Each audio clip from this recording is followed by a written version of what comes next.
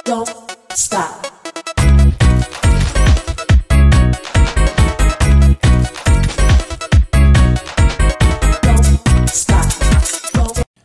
عليكم ورحمة الله وبركاته. بسم الله الرحمن الرحيم. النهاردة هنتكلم عن موضوع بسيط. هل يمكن الإصابة بفيروس كورونا مرتين؟ وإذا حدث ذلك هتعمل إيه؟ أنا مريض كان عندي فيروس كورونا. واتعالجت وشفيت ممكن. الفيروس ده يرجع لي مرة تانية؟ للأسف الشديد في حالة موثقة في الولايات المتحدة الأمريكية وفي حالات موثقة في هونج كونج وفي حالات تانية كتيرة لكن للأسف لم يتم توثيقها نظرا للدمار المحتمل الناجم عن كوفيد 19 والقلق من الموجة الجديدة من فيروس كورونا كانت منظمة الصحة العالمية والمراكز الطبية بتأمل إن عدوى كوفيد حفزت الجهاز المناعي وعملت أجسام مضادة من شأنها حماية الناس بشكل كويس ولفترة طويلة.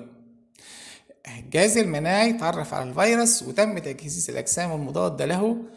إذا غزا هذا الفيروس الجسم مرة أخرى هيتعرف عليه الجهاز المناعي وهيدمره بالأجسام المضادة اللي هي موجودة فعلا.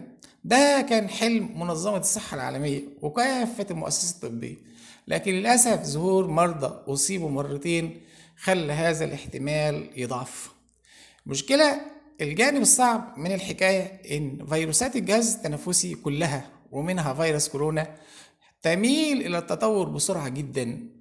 عادة الجهاز المناعي بتاعك بيحميك بطريقتين. أول طريقة بيتط... بيكون بتطوير الأجسام المضادة للميكروب الغازي ده الأجسام المضادة ديت بتروح تقتل الفيروس وتمنعه من إصابة الخلايا في الجسم. الذراع التاني للجهاز المناعي هو استجابة الخلايا التائية اللي هي ال T lymphocytes الخلايا دي بتقتل الخلايا الأخرى المصابة بالفيروس. يبقى أنت قتلت الفيروس وقتلت الخلايا اللي كانت مصيبة بيه الموضوع كده خلص طيب لماذا تحدث عدوى ثانية؟ أنا خدت الفيروس وتعالجت وشفيت وفي جسمي في الأجسام المضادة لكن جالي الميكروب مرة تانية. ليه؟ حاجة من ثلاثة في وجهة نظري أنا اللي ملهاش أي لازمة في وجهة نظري إن دي حالة من ثلاثة أول حالة إذا كان حضرتك خدت العلاج وشفيت وبقيت تمام لكن عندك مشكلة صحية. المشكلة الصحية دي بتعمل لك ضعف في الجهاز المناعي. واحد عنده سكر واحد عنده أمراض كلى واحد عنده مشاكل في الكبد واحد بياخد أدوية للروماتويد وغيره اللي بتضعف الجهاز المناعي. ضعف الجهاز المناعي ممكن يخلي الفيروس يجيلك مرة واثنين وثلاثة.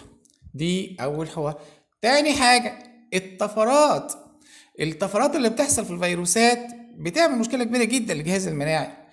الجهاز المناعي بيتعود على فيروس تركيبته عارفها خلاص سجلها عنده الكمبيوتر بتاعه سجلها عنده شكلها كذا والحمض النووي بتاعها كذا ده بيجي أول ما يدخل الجسم تاني يطلع له لأ ده الفيروس بيجي ب RNA تاني خالص بيجي ب RNA تاني خالص فيروس جديد وبالتالي الجسم هيتعامل معاه فيروس جديد مش هيتعامل معاه بالفيروس كوفيد اللي قبله قبل كده. لأن الفيروس ده اختلف تماما عن الفيروس اللي كان جاي في أول مرة. تالت حاجة حضرتك إذا كنت مصاب بعدوى كوفيد 19 لكن الحمد لله الحمد لله شوية ميكروبات بسيطة اللي أصبت بيها. وبالتالي كانت استجابة الجسم ضعيفة لهذا الميكروب. ميكروب ضعيف دخل جهاز المناعة عمل شوية أجسام مضادة على قدها كده خلص على الميكروب وخلصنا. لو جاله بقى الفيروس الجديد بكميات كبيرة ممكن يصاب بيه مرة أخرى. دي في اعتقادي إن الثلاث حاجات اللي ممكن تخليك تجيلك عدوى مرة تانية بفيروس كورونا. طيب أنا الحمد لله شفيت أول مرة وللأسف جالي تاني مرة. أعمل إيه؟ تكون مراكز السيطرة على المرض والوقاية منها أنه إذا ظهرت عليك أعراض كوفيد 19 مرة أخرى حضرتك لازم تعزم نفسك. وتروح للدكتور وتناقش الدكتور في إعادة الاختبارات مع طبيبك. يا ترى التحاليل اللي أنا عملتها قبل كده هتنفع المرة دي؟ الأجسام المضادة اللي كانت موجودة قبل كده هي اللي هتبقى موجودة المرة دي؟ موضوع صعب جدا صراحة. أتمنى إن محدش يصاب في فيروس كورونا أبدا لا مرة ولا اتنين ولا تلاتة. أتمنى إن الناس تحافظ على نفسها. ربنا سبحانه وتعالى يحفظ الجميع.